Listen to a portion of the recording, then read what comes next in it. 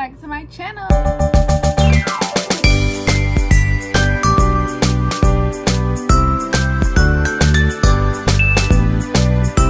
So today is Vlogmas Day 2 and ugh, sorry if you hear that background noise again every time I make a video. Anyway, welcome to Vlogmas Day 2 and we're going to be doing a styling video. I live in Ohio so it gets really cold out here. It literally snowed yesterday. So I'm going to be styling outfits for cold weather. There might be a part 2 to this video later on in Vlogmas but yeah that's today's video so let's get started. Oh my gosh wait. I literally forgot to put mascara on. Out here looking like I got no eyelashes. But yeah, let's get into the video. Today's Vlogmas is gonna be more chill than, well, not more chill, sorry. Today's Vlogmas is gonna be a little bit less chill than actual vlogs. Oh, here's the update on my tattoo the next day. Anyway, and I just wanted to throw that out there because like I said before, all of my Vlogmas videos are not gonna be vlogs because I'm home. And honestly, I don't know who's vlogging that much right now because there is not that much to do. I mean, with the pandemic and all, corona. But yeah, so that's all I gotta say. Let me go ahead and apologize for my makeup because I don't know why it's looking like that. I don't know if it's maybe my lighting or what, but it looks a little weird. Sorry. But yeah, let's get to styling. I'm gonna be styling about four or five outfits today. It depends on what you see in the video. But yeah, I'm gonna be styling those for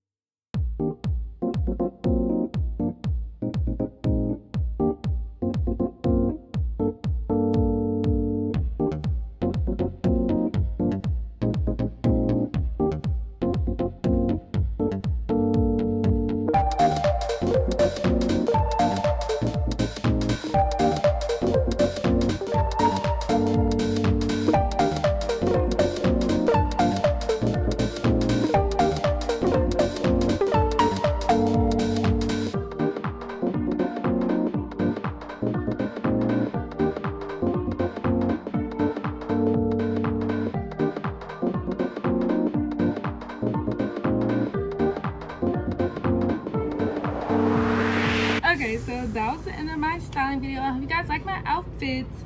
I know I only did four this time, but I'm probably gonna do more in my next one, which would be the part two. Um, I try to make them more simple and outfits that you can use with a few pieces, and I included mostly the same range of colors like tan, black, and white because I wanted them to be easy outfits that people could wear. And I made them so that you can layer them, wear a tank top, and then wear a t-shirt, and then wear a long sleeve shirt under it, and you'll be warm. I know because I did it and I was warm. So I hope you guys enjoyed my video, and thank you for watching. I'll see you tomorrow for day three of Vlogmas. Bye.